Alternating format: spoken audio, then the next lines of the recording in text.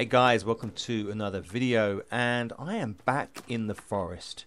You can see here this is my base. I have some stone walls surrounding the back end of the plane. Got a nice little hut here and some internal walls plus a series of traps that go around the outside of the base.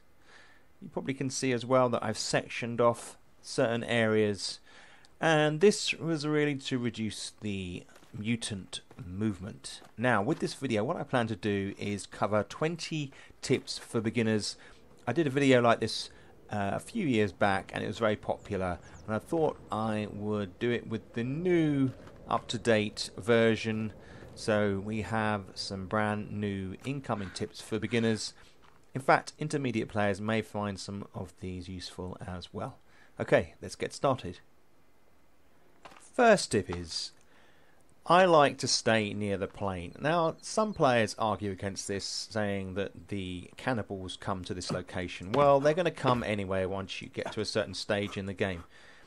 One of the handy things about being by the plane, the reason why I do it, is because it respawns a lot of the stuff inside every time you load back in, uh, restart the game. You can come in and collect up some food. There's like four meals in here it's plain food, so it doesn't really give you much, but it's certainly very handy. And this is tip two, that these plane sections provide good defense. Look at this in a sense. This is one side of the base. It provides protection down that end of the base, and I find that very useful. And you can, in fact, build steps up to the plane and climb onto the plane, giving you vantage over the incoming cannibals. Tip 3 Don't be lulled into a false sense of security. In the beginning, it's quiet. And that's bearing in mind I have it on normal setting here. And that's probably where you're going to start, normal setting.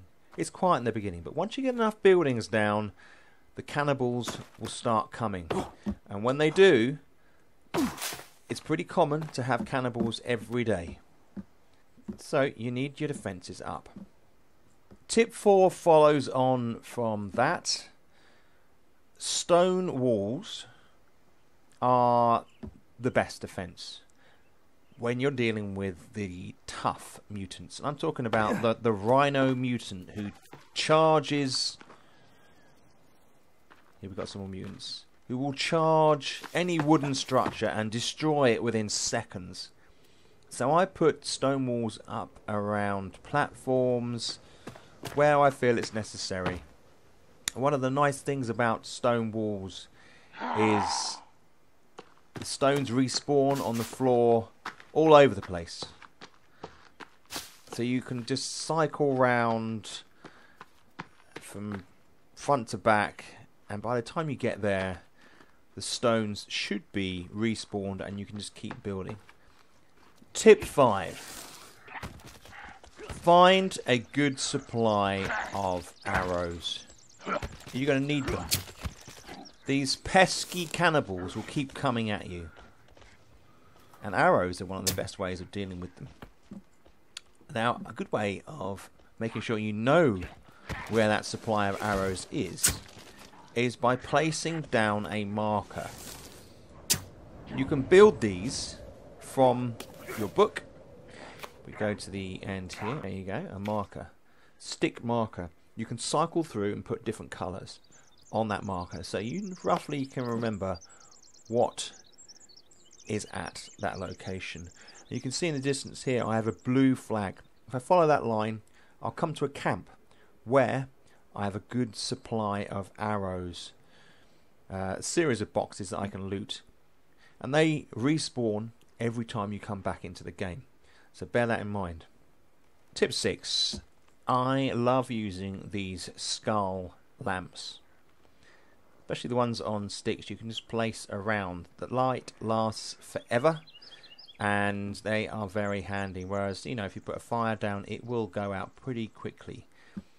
So using these skull lamps is a top tip and I always do it. So when you're using the bow, try and get headshots. It will kill them. It can be difficult sometimes. They're they're quite wily. These cannibals. They move pretty quickly, especially the uh, ones that uh, run around like dogs. But once you have killed them, you can pick up the bodies and put them onto fires like this one. Let's get that lid again. Use some uh, notes to get it burning. And then you throw the body on and then it's not long until that body turns into a pile of bones. Then next to it build next to where you build your fire construct a bone holder. There bone basket. You need 21 sticks to do that. Put it next to that and then when they break up into the bones you can collect it in the basket like this one here. You can hear, there you go, it breaks up. Another really handy thing about burning the cannibal bodies, it gets rid of all the disease in the area. And you also get skulls out of it, which, as I pointed out already, are really good for making the skull lamp. Economical, you get building materials, you can use these to make fences. So one of my priorities when I first set up the game and my base is to put some drying racks down so I can hang some meat on there and also to find a coastal location where you can kill and gather the turtle shells. And then you turn them up and you can build these water collectors which makes perfect sense so you put these down and then when it rains like it is at the moment they will gather water which is very handy so that's in my internal base, right in the core of the base. I've set that up. Food and water. So tip nine, uh, another thing that I do to manage my inventory is I put up some large cabinets next to the plane so that when the stuff spawns in on the plane I can stash some of it on these shelves because you can't carry too many. You can only carry so many items and by having these you can store them on the shelves when they spawn in and you're not wasting them in a sense. These cost 8 logs to build the, it's the large cabinet. And I put that next to the plane quite often or in a part of the base. There are a number of traps in game. This is the log fall trap. If you line it up with a fence, you tend to find that the cannibals run along the fence line. And just like that one there they can be crushed by the falling log. There we go. So that is pretty they're pretty good these. I, I quite like these traps you can reset them using one stick like so You've got to be careful because you will take damage if this log hits you if this falls on you trigger it but they can be very effective. As I say, I find the most effective place to put them is at the end of these uh, fences. Definitely the most effective place, and you can see it worked a treat there. I took out two or three cannibals. I think my favourite trap has to be the Happy Birthday trap, this one here. It does require some resources, 20 sticks, 4 logs, 2 stone and 2 rope uh, rope becomes scarcer the longer the game goes on. So they can they're they're fairly expensive, but they're well worth it. And you can reset them using a stick, and there's a trigger mechanism at the back there you can see. And when the cannibals walk or run over them towards them this way, they will be impaled and die and then you can reset them, collect the bodies, and as said before, you can then collect the bones from those bodies for your resources. But they are awesome, and one of the nice things about it is they also act like an alarm. So they make a very distinctive swishing noise when they go off, and it tells you, if you weren't necessarily aware of it, that that cannibals are close at hand. The Happy Birthday Trap, my favourite. Tip 12. Let's have a look at uh, gathering resources. So for me, my ethos as I run around in the forest is to constantly pick up stones, slash at animals, take down branches and twigs so we can gather those sticks up. So that I have got a constant. So if I'm heading in one direction, I'll be thinking, right, stone, sticks. I've got the maximum number of those. And as far as the stones are concerned, I will have stone walls being made all the time. Because once you've collected five stone, and that's all you can carry, and you may as well drop it off at a wall as you run past it. So I think it's just a question of being efficient and uh, building as quickly as you can, because as I said before, cannibals will soon start coming to your base. So we're being as efficient as possible, gathering all the time. But to make that even better, build bags. So you've got your stick bag, for example. Now that requires one rabbit skin, two ropes, and three cloth. And then you can carry up to 20 sticks. Same goes for the pouch.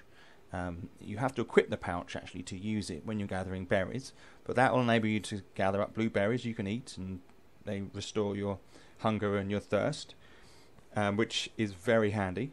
And then you can also get a rock bag. Now, I don't have it on this particular character. They're hard to come by. You have to go and get a boar skin from the north. Head north on the map. Tip 14. So, if you look across here, see these trees, these these tall trees here. The cannibals can climb some of these, and then they can jump down from those trees over high walls. So a good tip is to get rid of all the tall trees close to your walls and then they won't be able to jump in to your base. In the southeast corner of the island is a cannibal camp. And it's a dangerous place to go, there's no doubt about it. But it's well worth it. There's plenty of resources here. Plenty of cannibals, you see there. There's also this a stack of skulls outside a cave entrance. I would highly recommend you get to this location so you can find the map. The map is down here. It's pretty grim down here. But if you do make it down here, the map is found here along with the compass. See there's another compass there we've got on already. And the map is found in this location. The map is so handy. Pairing up with the compass, it's even better. This is the mutant you really have to beware. I call him the Rhino. He's the charging mutant. He will destroy your wooden structures just as if they're paper. He'll just tear through them. And you can hear him coming a mile and off, and when he does, you want to try and draw him away from your camp. Now you're going to need something in the way of him, because he will catch you. But it's the only way you're going to save all your hard work, unless you've got stone walls up protecting your base. Fishing is a really handy way to get yourself some food for your drying rack. All you have to do is stand at the side of a pool, look down so you get that chopping motion, that downward chopping motion, and swing your axe into the water. Now, it's, it's a bit of a pain they have to be quite close to the edge for it to work. But you can carry three fish. And when you do, go and hang it up on your drying rack. Now I have marked this particular location with a yellow flag. It's quite close to my base. You can see it here. You can cycle through these flags by pressing these markers by pressing the R. But I can come here and get some fish. So another nifty little tip you may not be aware of is when you build a platform, you can hang a rope off it that you can climb up. So if we go to the book, so you can build a platform here, and it takes so many logs depending on how tall the structure. And then from that platform, you can hang a climbing rope. Just takes one rope. Now, the reason to do this is that basically steps, if you had steps up to this platform, which is perfectly viable, you know, to build, they are vulnerable to the rhino attack and to cannibal attack. Whereas if you've got a rope and then you surround the tower with rock like this, you can then jump on the rope pretty effectively and climb up before the cannibals get you. And then you've got a decent platform to look down and shoot at the cannibals who are attacking without the steps or the stairs being in the way, which they can actually jump onto. Although they're not inclined to climb and use the things that you make, they still can do it just through the action that they have when they jump attack. And this may seem like a fairly straightforward tip, but it's something I always hold to. And that is, I never work through the night.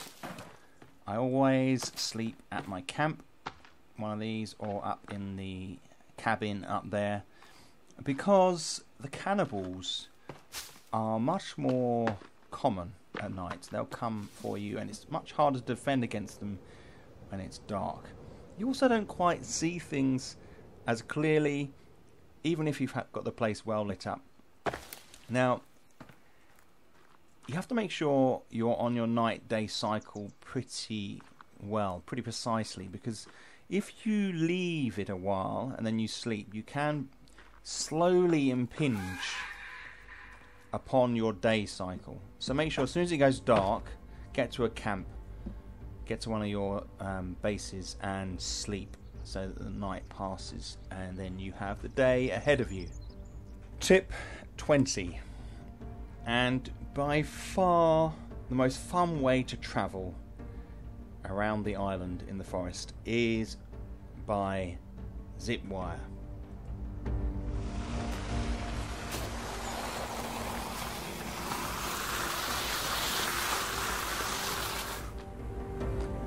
I mean, the benefits are obvious.